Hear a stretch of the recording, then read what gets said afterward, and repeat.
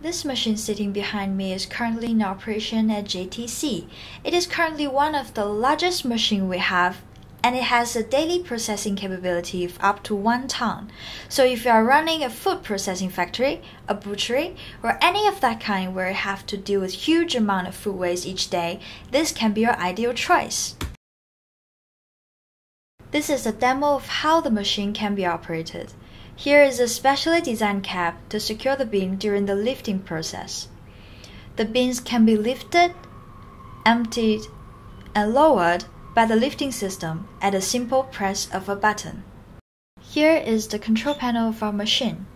You can see that the machine now is running in automatic mode. You can monitor the other real-time machine parameters such as mixer state and machine temperature from the control panel as well.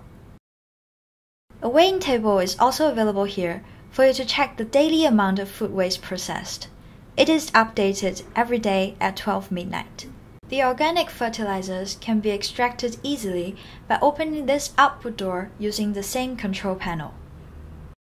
As you can see, our machine is extremely simple to operate.